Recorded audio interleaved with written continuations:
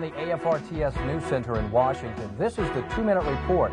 I'm Jim Langdon. On this edition, anthrax. Even a cute little guy like this could carry the deadly biological agent.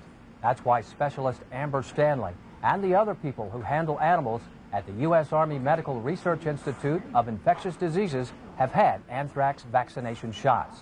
Specialist Stanley has worked at the Institute for more than two years. She took her first anthrax shot long before the vaccine became mandatory for all service members.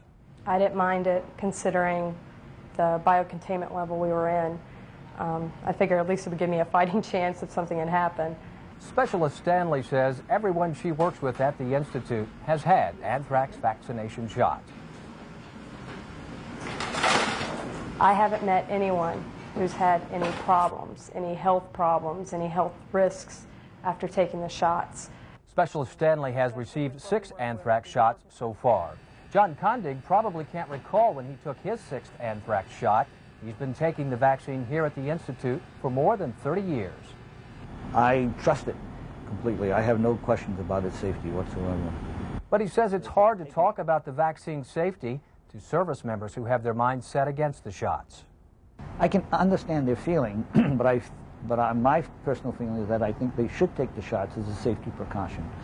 And I don't believe there's anything, there's any danger involved in taking the shots.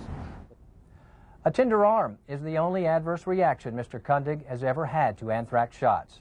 He still runs into people he worked with 30 years ago and says none of them have complained of side effects from the anthrax shots they took.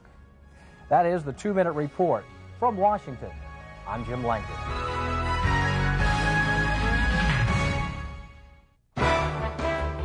On 2 Minute Plus, you can learn more about the anthrax vaccination program on Defense Link, the Pentagon's official website.